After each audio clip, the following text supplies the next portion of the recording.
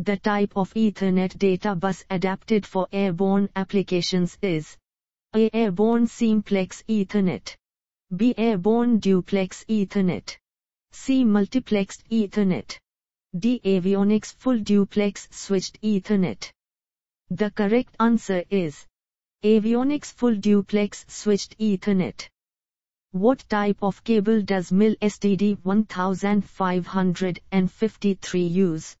A coaxial cable. B. Single twisted pair cable with shielding. C. Single twisted pair cable without shielding. D. Fiber optic cable. The correct answer is single twisted pair cable with shielding. What is the fastest mode of data communication between components in aircraft? A. Coaxial cable. B. Twisted pair cable.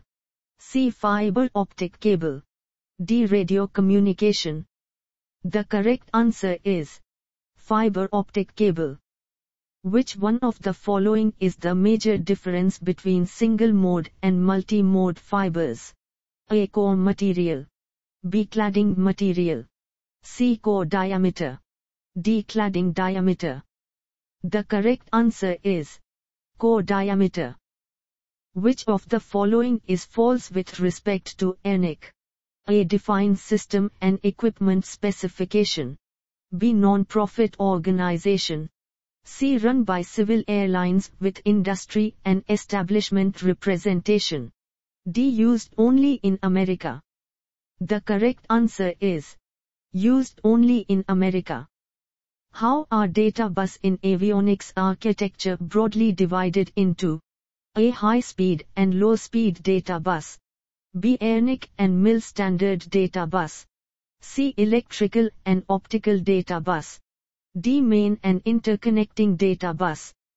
The correct answer is electrical and optical data bus.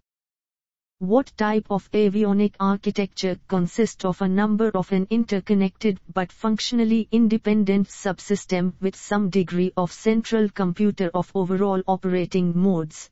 AIMA architecture. B. Federated architecture. C. Disjoint architecture. D. Distributed architecture. The correct answer is Federated architecture. What property does data transmission in fiber optic cable exploit? A. Refraction. B. Total internal reflection. C. Diffraction. D. Dispersion. The correct answer is total internal reflection. In an aircraft serial data transfer is achieved by A. Time division multiplexing B. Code division multiplexing C. Frequency division multiplexing D. Pulse modulation The correct answer is Time division multiplexing Avionics Full Duplex Switched Ethernet provides flexibility to manage any change in the data communication between the connected systems without wiring modifications. A. True. B. False. C. D. The correct answer is true.